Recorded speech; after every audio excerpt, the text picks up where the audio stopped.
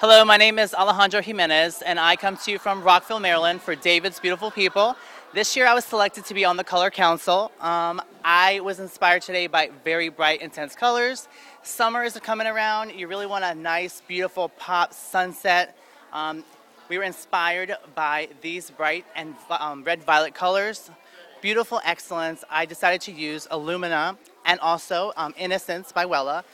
It's really beautifully accented with the top covered in real lights, blended ever so gently with a little bit of balayage and free painting. I think it came out absolutely spectacular. It really complements Ana Ray's haircut. She's going to talk about that in just a few seconds, but overall, excellent job.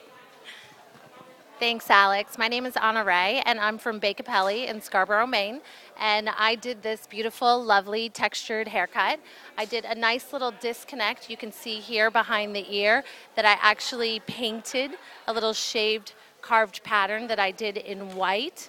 You know, I really worked off Alejandro's beautiful color work to just kind of bring it out and carve this beautiful kind of peacock feather inspiration that we had. So, thank you very much. We're going to go party because the it's It's been a long day of hard work and we're excited for some fun.